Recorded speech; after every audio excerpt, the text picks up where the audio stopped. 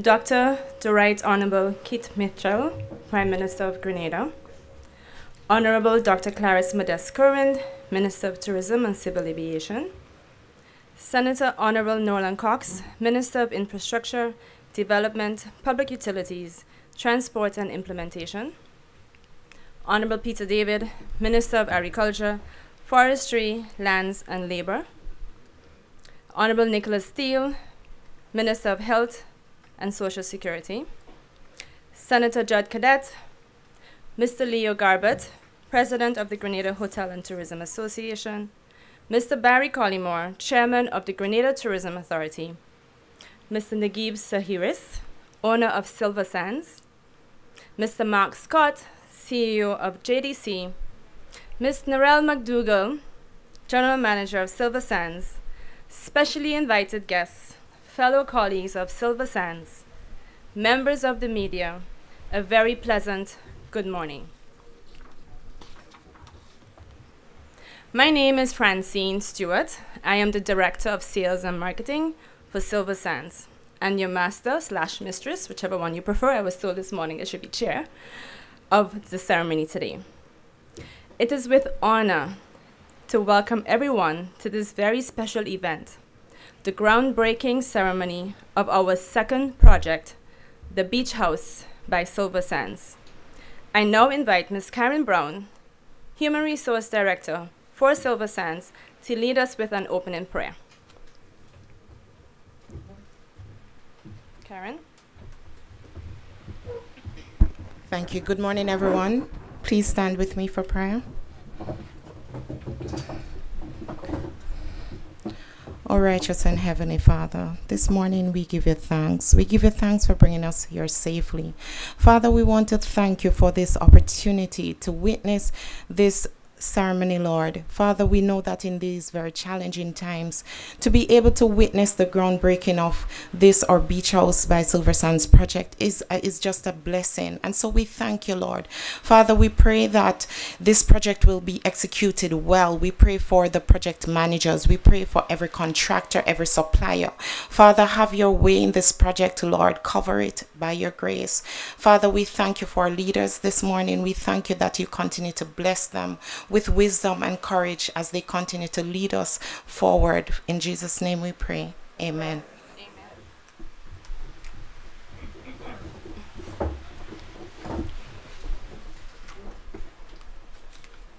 Thank you, Karen.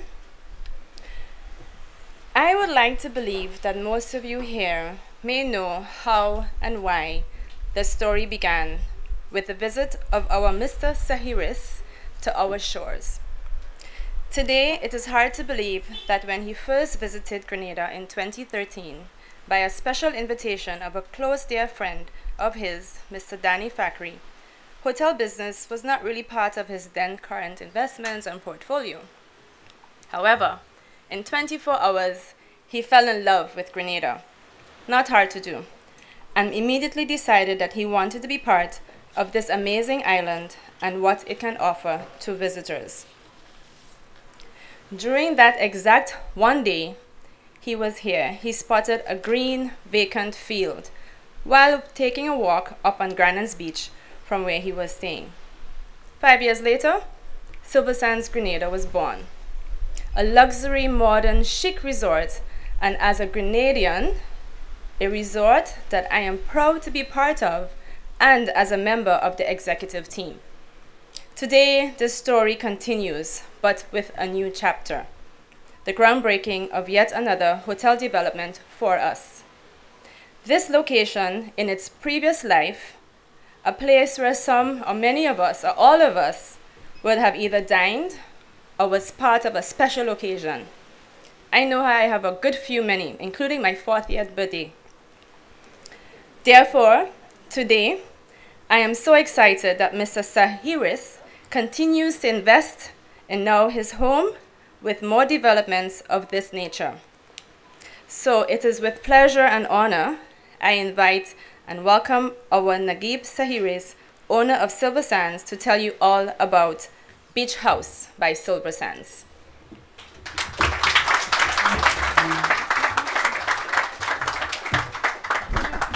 Thank you very much, and thank you for your confession about age, because women usually are very careful about that. um, so what I try to do always when I build a hotel is that when you walk on the beach, that you don't see it. So I don't know if you, any of you have walked in front of Silver Sands. Uh, you walk, you hardly see it because it uh, it integrates into the environment, and it has a look between. I mean, Silver Sands uh, is between green and brown, so the roofs are green, and we use a lot of brown wood and glass. So actually, when you walk, you don't see the hotel. It's not offensive because the last thing you want to do is to come to a beautiful place like this and destroy the nature. And that's why when you look at the design of uh, beach uh, house here, first we always keep the names for historical reasons. So Silver Sands was called Silver Sands, and Beach House was called Beach House. So we try to keep the memory uh, like a history going on, you know, and not continuing. But if you look here, you look, you think it's about tents. We couldn't do it whole in a tent because we want to give comfort to the people who stay here. But the whole concept is looking like tents on the beach, so it gives you the feel that it's light and easy. I hope it's going to be cheaper than Silver Sands, so the affordability. because we want to widen uh, the availability to uh, all sorts of people, not just the, the rich. And um, so the hotel is around 30 rooms as a first phase. We are negotiating now uh, of expansion. Which we have three uh, options of buying land. We are trying to increase the plot so we can do the second phase, more rooms, because hotels are managed better the more the rooms. You know, even in Silver Sands, we have plans to add another 36 rooms the permits and the design are there. We're just waiting for this horrible disease that has put so much misery and agony in all of us, including wearing this silly thing we have to wear and hardly breathe through it, you know. So I hope with the vaccination now, it's finally we're going to see lights at the end of the tunnel. I urge everybody to vaccinate. Don't waste your time thinking, you know, around around one one billion people in the whole world has already taken the vaccine. I took it. My parents are 90s. They took it. There is nothing, and they weigh it between the danger of dying or, or just getting some fever or some side. This is ridiculous, and wasting time on this will only hold the economy. Many people are. We, we are we are lucky in Silver Sands because my employees are still there and they still have their homes and their jobs, but it has been even painful for me because you know it's all coming from the pocket. We haven't made any money since then, you know.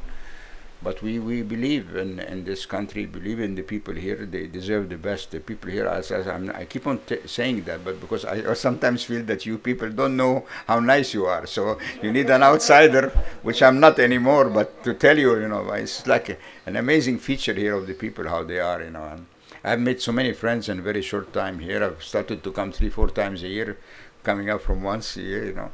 So um, the hotel will also have a restaurant, so we want to keep it not like this. It should should be a bit better than this, because I had also my complaints on the old beach house restaurant, you know, and it should look very nice and hopefully not cost as much, you know. So uh, I would hope that the contractors will have some mercy with us this time, uh, if they're here, and um, it also will have a nice spa and as I said, it has a lot of room of expansion, so we, uh, we hope we can double the capacity to 60 rooms, then it's a real hotel.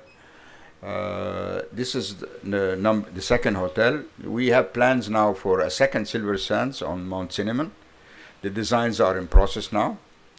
We also have plans for the Riviera, but this one should be a four-star hotel because we don't want to be classified as only providing for the rich, as I said. Even this one will be a bit cheaper and we have uh, big plans for uh, Port Louis. And it needs uh, it needs a lot of money that I don't have right now, but somehow I believe in God is going to reward my good doing and will send the money too. So. So please God, I never ask you for money. I, I, I made a vow that I will never pray except for health. So I've never violated. So take this as a joke. You know? Um, and uh, even if we don't get it, we'll find a way to get it. You know, we just need to do. But if we do all what we want to do, we because also in, in Port Louis, we, uh, we are now discussing with the partners of Camper and I mean, most of you, even the PM doesn't know that, so I'm telling him now. We're discussing with the Camper and Nichols and the Chinese uh, to do something together to promote the Port Louis area. So we're putting some assets together. And we have our own plans if they don't come through. So to promote that area as a new entertainment spot, plus add two hotels also there including the hotel which was on the top, and we'll name it the same thing because of the Marlon Brando movie, you know. So we want to keep the legacy. If we do all that, then we've added like 500 rooms to Grenada. From the current 1,000, it's a 50% upside, you know. So uh. The the fact that uh, Six Senses also is coming and Kimpton after a 10 years journey seems near the final line, but I, I am not so sure, but I hope that it will happen too. So we will have a big uh, draw and and kill this argument by airlines that we can't come because the number of rooms are too little, you know. With yesterday was an amazing. Uh, I'm very happy that I had the, Uh, the the courage and even it's difficult time and we don't have the financial resources as much as we used to before Corona. That we did the hospitality school with the Cornell, as I made the joke yesterday, I repeat it again. I thought he would never make it, so I never have to pay, but he convinced Cornell to come. So this was my condition. so unfortunately, I have to put the money now. But it's a great thing because it will also give. We, we have a shortage in manpower in terms of uh, trained manpower. So as I said in Silver Sands, the people are just amazing. Everybody working there, I cannot give them any more advice. They're actually far. Uh, advanced, but what we need now for five hotels, we need uh, 1,000 people more. You know, I mean, this this small hotel here will require 100 people, 100 new jobs. So if you keep on taking people without training them, without giving them a chance to be well trained, and expect the tourist that comes, he won't have a lot of uh, patience if something is not working and like that. You know. And the last thing I hope that uh, if I want to talk to the government, privatize the airport, give it to the private sector we definitely can do a better job, you know, and uh, because the only thing we will make sure is that when a tourist arrives, in two minutes he's outside. This, this we can do. Uh, we will also make sure that uh, there is comfort, there is ease. we will fire anybody that will not meet the tourist with a smile, you know, and welcome him to give him comfort that this country, because you, you don't portray the friendliness of the people if you are you know, acting as a as a as a typical uh, uh, civil servant. So, but I think it's not a bad idea to think about. Sorry that I'm so uh, outspoken, but uh, uh, I've known the PM to accept uh, hearing bad news and not just good news. So I I try to be only good news bearer all the time, but sometimes you know. But if we do that, then we can even create a lot of services at the airport. We can improve the catering. We can we can have more planes coming in. We can make it easier for airlines to open up and so on. Because there's always a difference between private and public sector. You know? So I hope I didn't offend anybody. I didn't break any glass. In my country, they never let me talk because if I talk, then too many problems happen. But so I leave you on a good note, and thank you very much.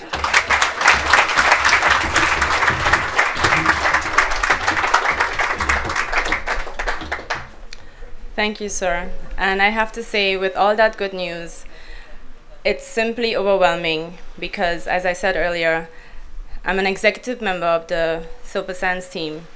And 30 years ago, we didn't have this. We didn't have the belief in our forefathers to prepare our future, to prepare the next generation to come for what is about to come. A thousand persons need to be employed. Projects um, that are coming. So, as a Grenadian again, Thank you for believing in us. Thank you for bringing your money to us.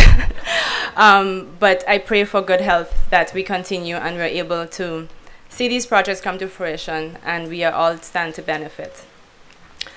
I would now like to invite our Honorable Minister of Tourism and Civil Aviation, Dr. Clarice Modeste-Curwen, to say a few words.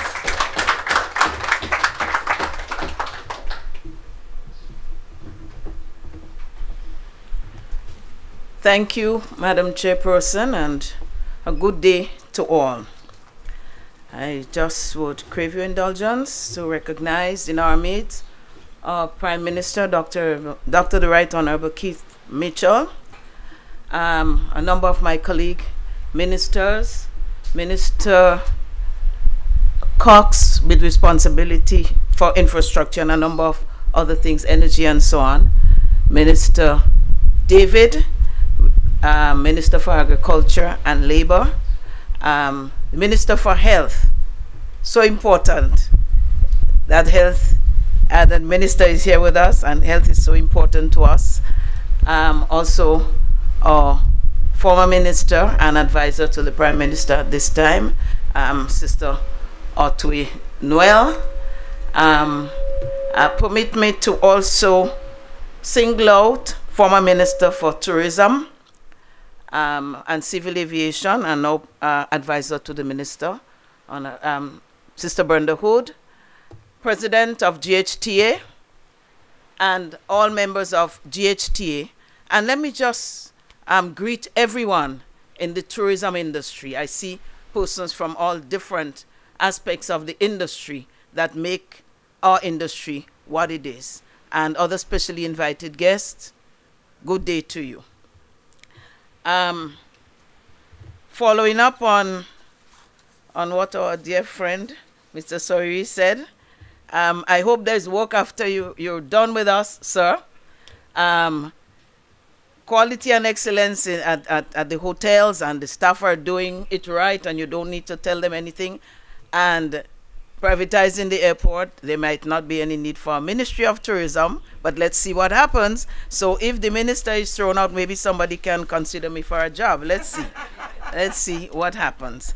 I, I, I also, so as not to forget, I want to start with something he said to when he spoke about the vaccines. Brothers and sisters, we cannot get our livelihoods back. We cannot get the life, the engine back in this country if we do not get vaccinated. Persons have, the naysayers have some negatives to say about it, and I keep asking, what is, what are the other options that we have now? What are the choices that we're offering? The vaccine has proven itself to save lives, to minimize persons from getting the infection. It has certainly decreased the infection rate in the countries that have a good um, a number of persons vaccinated, and every country, based on your population, you have a different um, critical mass to meet.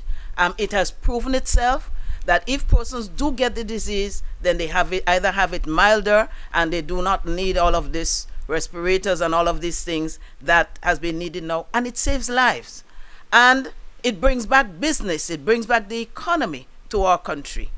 Um, people are talking about passports, uh, vaccine passports, and a number of things. And more and more, we're hearing different entities saying that you cannot travel, or sometime in the near future, persons will not be able to travel if they're not vaccinated. If we're telling persons that you, if to come into Grenada, you have to be vaccinated. If we're working with them and we're going to interact with them, then we need to be vaccinated. I uh, understand that persons may have some misgivings. It is only natural. This is new to all of us, and we're learning about it. But there are some facts that have been demonstrated. Let's deal with the facts and not the rumor mongering about, about the COVID. And also, if you have any misgivings, any doubts that need to be clarified, then talk to the minister before he leaves. I'm sure he can set up the, the stage, the platform, so that um, explanations can be given so that you have an understanding. I'm not asking people to do it blindly, but I think for tourism to come back, we must talk vaccine. The the the tour the the um sorry the cruise ships are talking about it. The airlines are talking about it. Grenada has to talk about it. I don't think that there's a choice. I think the best shot we have now is that shot in the arm, and I can't wait to have my second shot. So I hope that we can all start thinking about it in a more serious light and see what we could do. So, my dear brothers and sisters, yesterday we celebrate the launch of WISH, West Indies School of Hospitality. It was a great event, and um, it's, it sent strong messages to us that the tourism industry is alive and well. Hasn't started to kick yet, but we're getting there. And with what is happening today, I think the kick has started um, with, with what we heard from um, Brother Soriri. So um, I, I really look forward to, to more things happening. But even apart from this, we had the launch of that project with range developers at um, at La Sagesse in St. David's. As said before me, Kimpton Kawana Bay is going full speed ahead. Um, we have the project at at um, Livera, and a number of smaller ones are um, either being um, renovated, updated, upgraded, or built from from start. So the industry is not dead. It's a bit dormant, sleeping a bit, but a lot is happening behind the scenes. And today, with this beach house facility, what does it mean for us? A number of things. The setting and the maintaining of a trend. The trend has been set with um, Silver Sands, and we see the trend is going to continue as we look at the photos and we hear the promise from Mr. Sawiri. Um, so that trend is there. Um, the quality. This was also spoken about. We've seen it with Silver Sands, and um, we expect this to be, if anything, better than Silver Sands. So there is some room for competition. Service, excellence of service. That is always necessary, and again, Silver Sands has shown that. Um, but I want to say, brothers and sisters, that some of these qualities, or all of these qualities, are not new. They exist in Grenada already. Um, what we need to do is to take it to different levels. Grenada can boast of these many attributes, and many facilities in Grenada have been recognized regionally and globally for having achieved these standards. I want to talk about our dear Spice Island Beach Resort that has been recognized and awarded so many times, I've lost count for excellence in just about every area. I'm the president of, of GHTA, Mr. Leo Garbutt, and Calabash. You have done quite a lot and you have been awarded many times. Um, we have others, Coyaba and so on. So excellence is not new to us. We just do not have enough of it and we cannot wait to see what this facility will bring to us, as well as the other facilities that are under construction. And to add to that, with our wish School of Hospitality, we expect to see a lot more of that. Our safety and our natural assets add to the attraction for all of these facilities. We ask ourselves, why is Range Developer coming here? Why is Mr. Soriri coming? He's built a, a Silver Sands, he's building another one. And he has said it himself, I couldn't have said it better. The hospitality, the goodness of our people is of paramount importance, but the safety of this country also is something that beckons investors to come to our dear island. And, and, and the hospitality, these are all huge contributors to our attractions. But I just want to take a few minutes to speak of room stock. Room stock, brothers and sisters, is a major, major factor in negotiating for flights to come to this destination, to our country. And I'll just give you some figures. I did some quick checks with some of our neighboring islands. I won't call names because today this is about Grenada, but we need a comparison. So one one of the islands I got 3,700, another one 6,600, another one 5,000 plus, and Grenada 2000 and a little bit. I don't need to say anything more, do I? The need for room stock is very obvious. You ne we need that as a leverage to bring more flights into Grenada, to bring more variety of flights into Grenada, to bring people on those flights.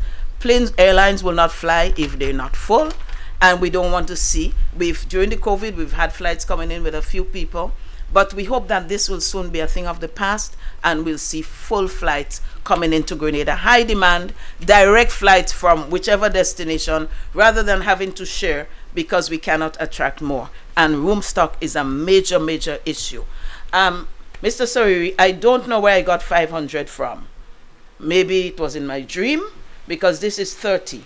But with all that you have said, I expect some some time at some point in time we will get close to that or above it.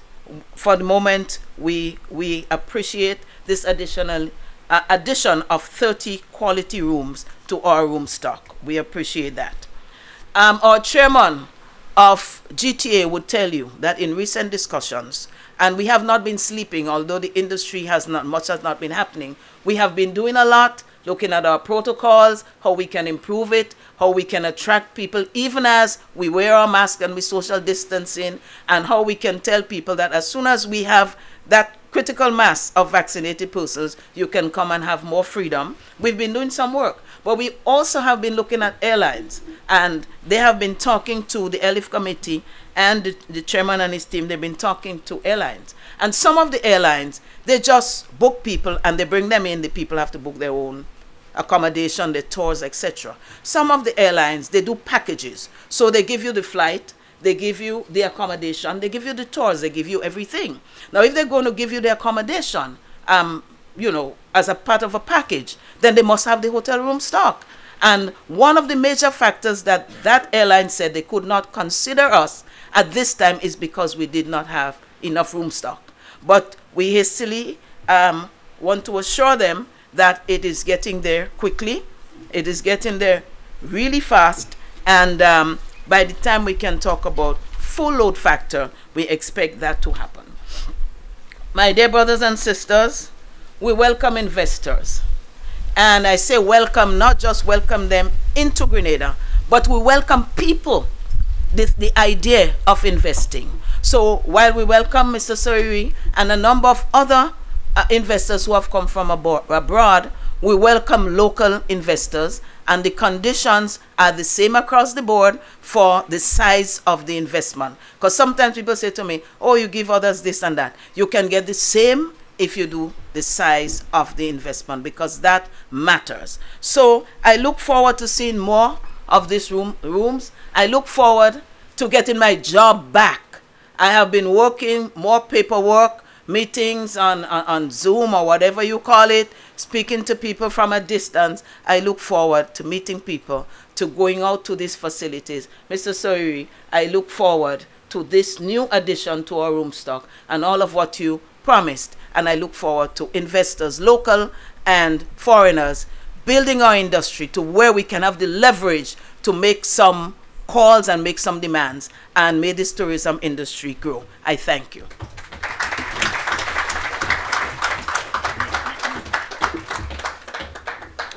Thank you, Minister.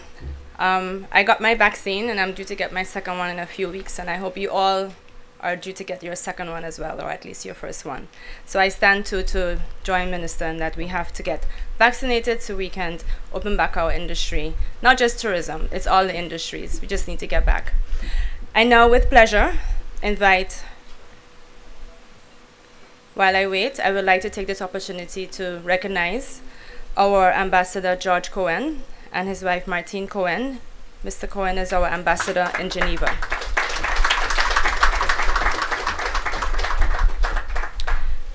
With pleasure, I now invite Dr. the Right Honorable Keith Mitchell, Prime Minister of Grenada, to deliver our address, to deliver a feature address.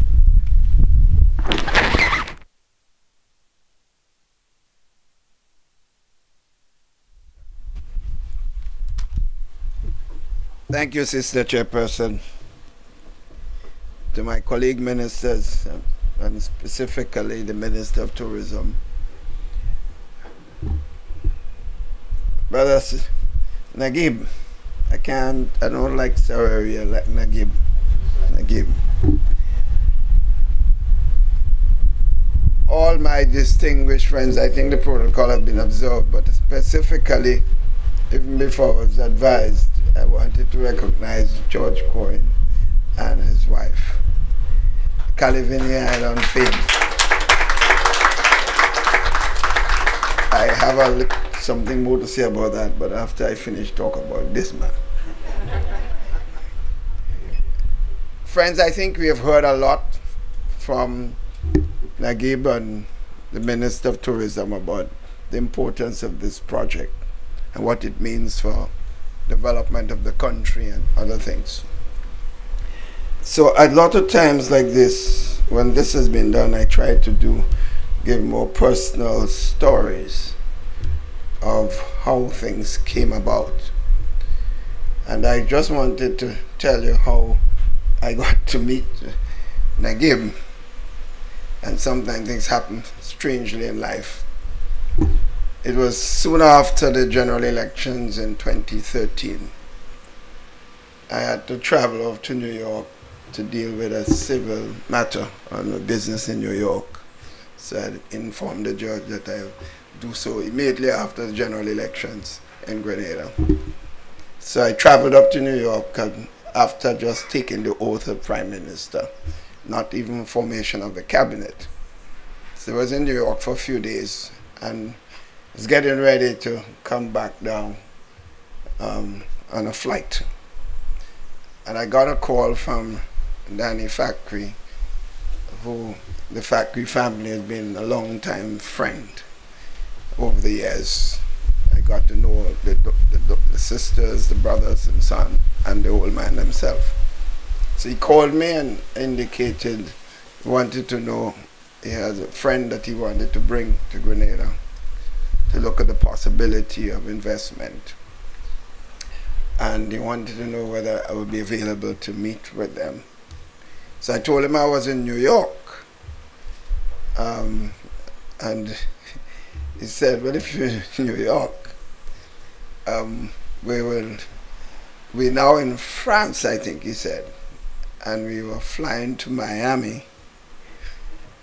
So if you want, we can fly to New York on a private jet, and to, you just have to fly off to Miami with us, and then we take you to Grenada. I say, Well, you know, I get a chance to sit in a nice aircraft, have a whole row seat for myself. I could lie down and sleep if I want.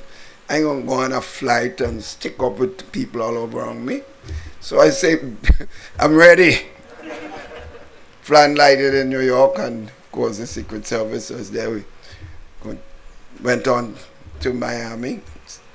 Sorry, Naguib had something to do there, and I, we took the flight to Grenada. So we talked a bit, but I proceeded to, after months of a campaign, and the stress really, I was so happy. I had my music set with me. and Danny was talking, and I got into my music to write three, four hours of that into Grenada. So when he arrived in Grenada, Daddy came to me and he said, Listen, I have never met a prime minister like this who appeared to be so relaxed and having fun. When even strangers were around, you see, right away, I think I get to like the country already. because that is my type of person I like to deal with and so on. And then he told me, well, that is the first start of the man interest in the country. And therefore, after viewing around, and he started, as Clarice said, and he indicated, he started seeing the beauty of this beautiful country and the way people treated him. He was already sold, sold from the top to the bottom and all over in, in that sense. Uh, and I thought this was a very important story. You See how things happen. Just by coincidence, a flight, playing music, enjoying myself, someone become interested in what's happening at the country that the person is involved with and the beauty of the people, the beauty of the place, a mixture of all of the above. Naguib has shown when he gave when he gives his word that is it. Many times people indicate all kinds of plans, see all kinds of drawings. Sometimes I get tired seeing them. And you see nothing after that.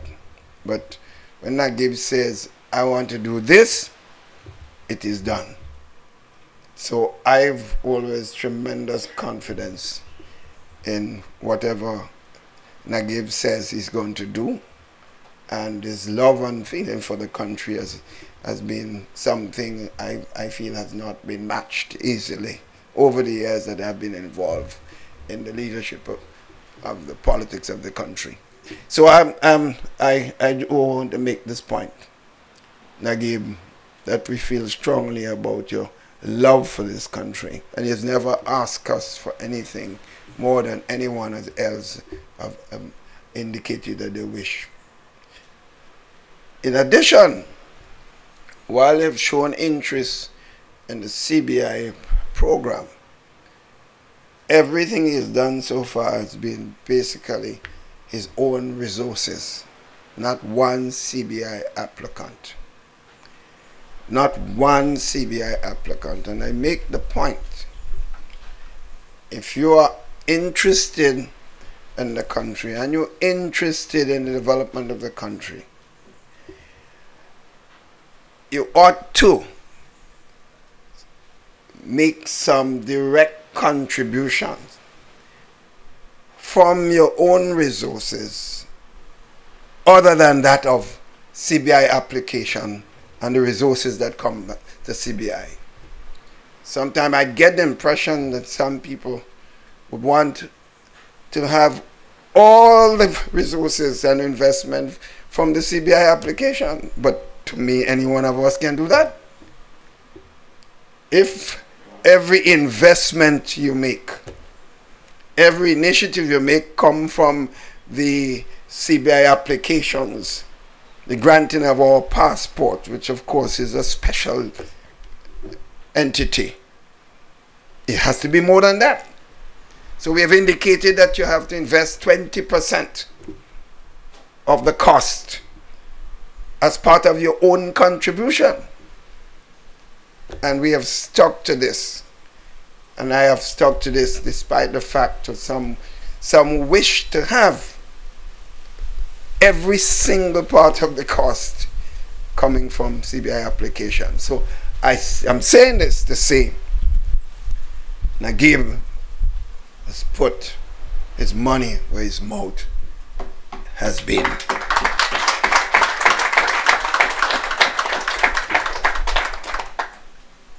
Colleagues, in addition, I believe I want to just make a point to reinforce the issue of this necessity for vaccination.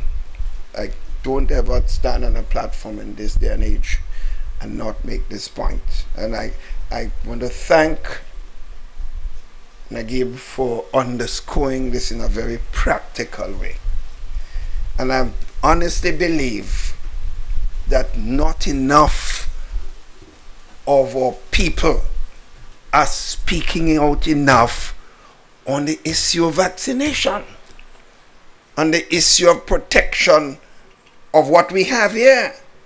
Because with the beauty of the country well known and, and well articulated by, by Naguib and others, interested in the country's development, the beauty of the people, the beauty of the country, added to that with all the positive we're getting from the fact that our infection rate is very low.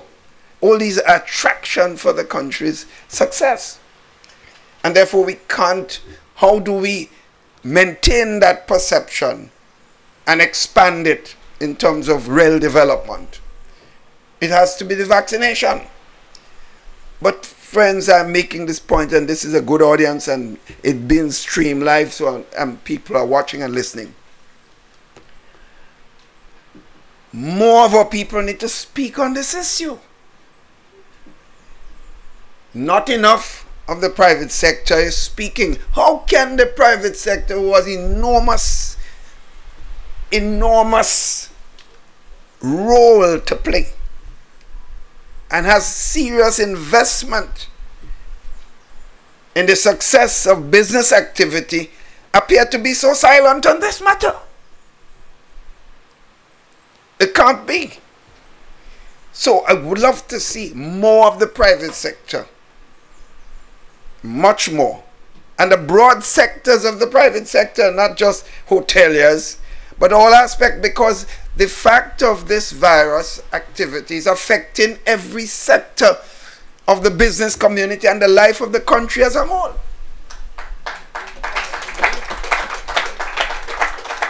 So it cannot be the Minister of Health and the Prime Minister because they see us in a particular light.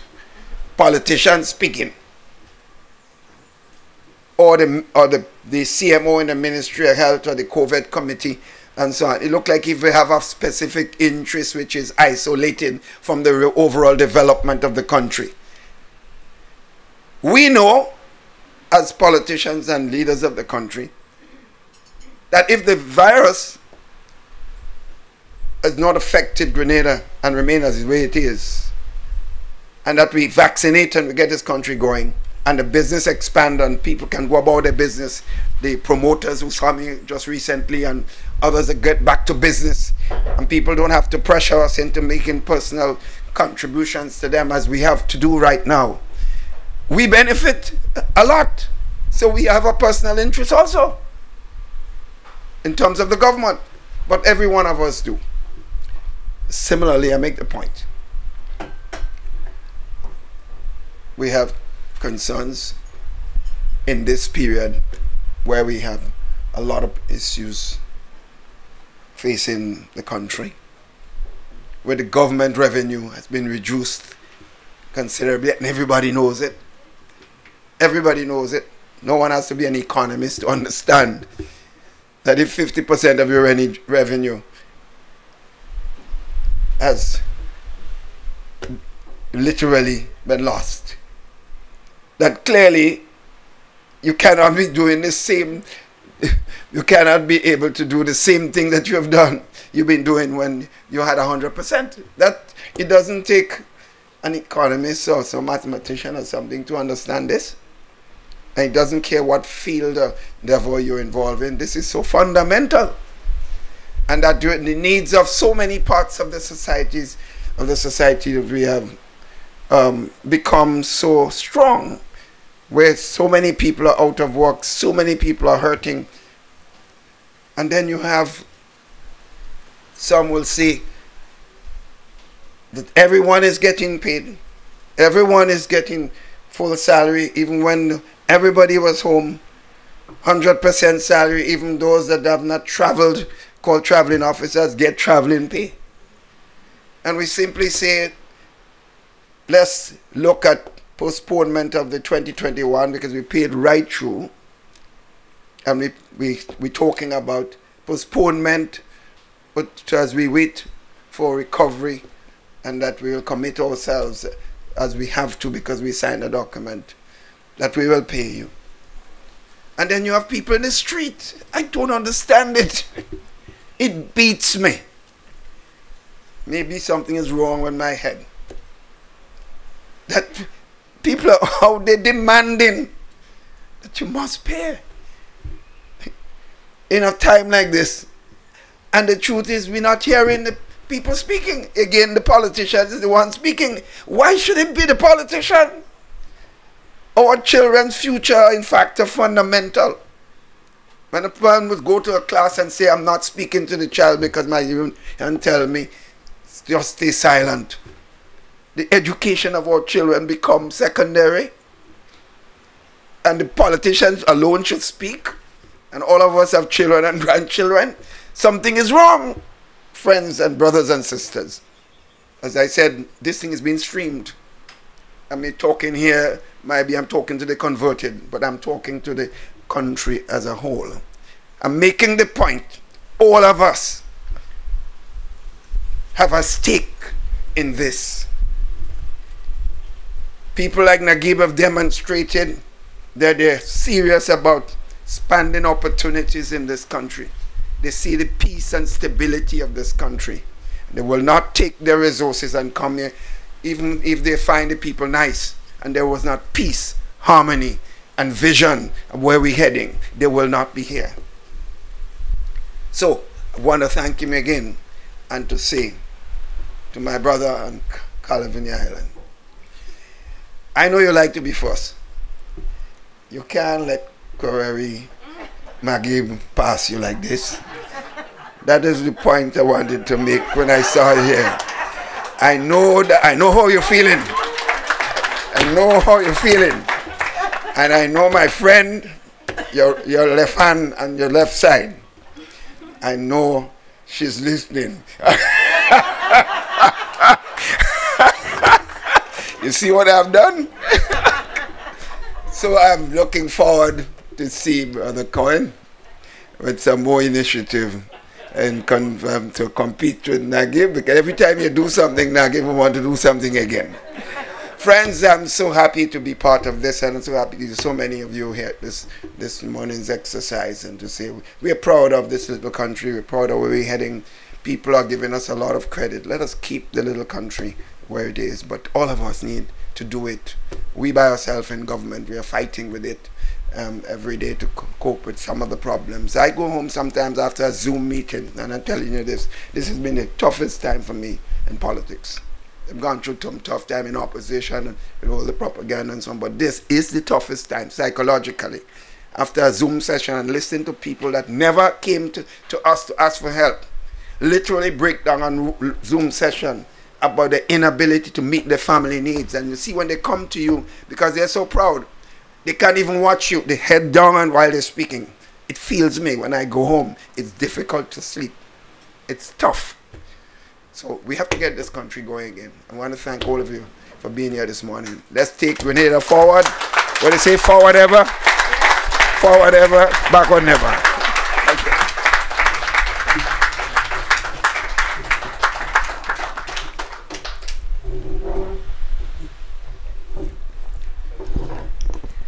Thank you so much, Prime Minister of Grenada. And guys, you heard it. Let's get vaccinated.